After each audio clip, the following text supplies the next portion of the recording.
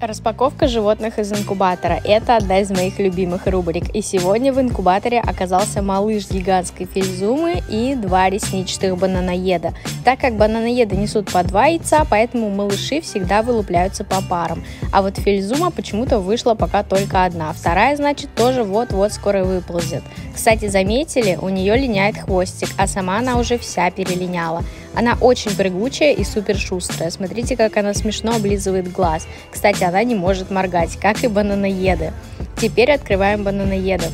Они супер прыгучие, даже когда только вылупились. Вот такие разные малыши получились. Интересно, что у них разные рисунки, хотя они от одной мамы. Малыши бананоедов очень часто в детстве отбрасывают хвостики, а новые у них потом не вырастают. В детстве они очень пугливые, поэтому склонны так делать. Мы стараемся очень аккуратно их высаживать в террариум, чтобы хвостики не отвалились. Им осталось еще месяц подрасти, и потом они